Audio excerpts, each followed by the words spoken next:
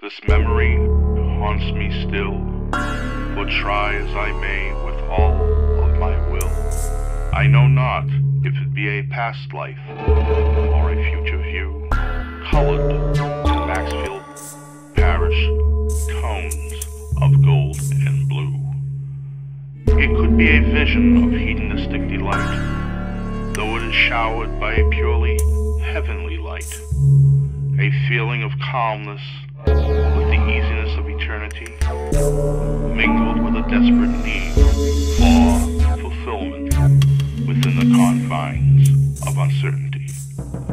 There, I recline upon dewy grass, listening to the little church in the valley's mass, though but a murmur by the time it hits my ears.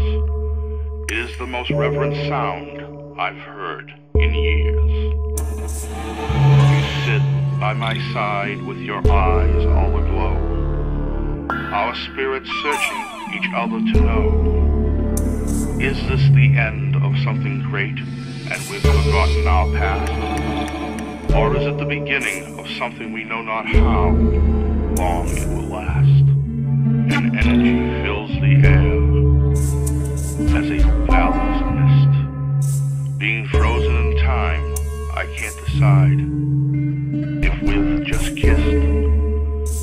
Maybe this sweet sensation is not for what has been, but rather a burning for a kiss I have yet to win. Glowing they might be, but your eyes say both yes and no.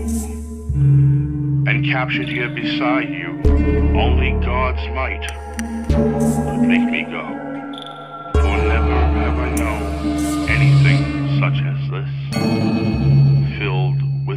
uncertainties, yet in a state of bliss.